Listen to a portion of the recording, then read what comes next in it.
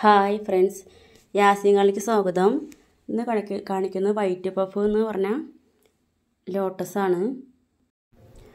നല്ല ഭംഗിയാണ് കാണാൻ വൈറ്റ് പഫ് ഇങ്ങനെ കുറച്ച് ഇതകളായിട്ട് ഉണ്ടാവുള്ളൂ.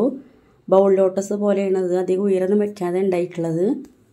നന്നായി ഫ്ലവർ കിട്ടിയിട്ടുണ്ട് ഇതിൽ ഇതിൽ നമ്മളിപ്പോൾ എല്ലുപൊടി ഒന്നും കൊടുത്തിട്ടില്ല. സാധാരണ ചാണകപ്പൊടി മണ്ണ് മാത്രം കൊടുത്തിട്ടാണ് നന്നായി ഫ്ലവർ കിട്ടിയിട്ടുണ്ട്. വളങ്ങളോ ഒന്നും തന്നെ വേറെ കൊടുത്തിട്ടില്ല.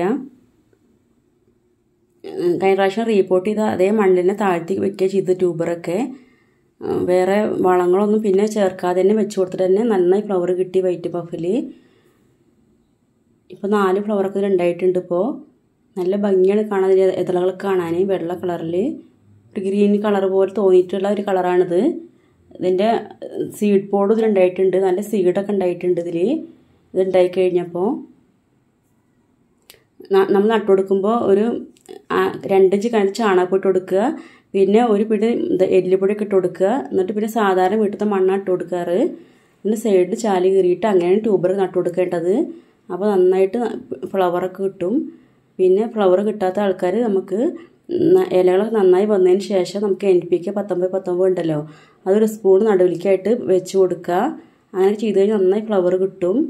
ഇതിപ്പോൾ ഒന്നും തന്നെ കൊടുത്തിട്ടില്ല. രാസവളങ്ങളൊന്നും കൊടുക്കാണ്ട് നന്നായി ഫ്ലവർ കിട്ടിയിട്ടുണ്ട്. ഇതിൽ പിന്നെ സീഡ് പോഡും ഉണ്ടായി. ഇത് അതുപോലെ വന്നിട്ട് സീഡ് പോഡ് ഉണ്ടായിട്ടുണ്ട്. എന്നിട്ട് സീഡും കിട്ടി. രണ്ട് മൂന്ന് സീഡ് കിട്ടിയിട്ടുണ്ടെങ്കിൽ ഞാൻ കിളിർച്ച് നോക്കണം. വെള്ളത്തിലിട്ട് കിളിർ കിളിർത്ത് വന്നിട്ടുണ്ടെങ്കിൽ വേറെ ചിലപ്പോൾ വേറെ വെറൈറ്റി കിട്ടും. അല്ലെങ്കിൽ ഇതന്നെ കിട്ടും.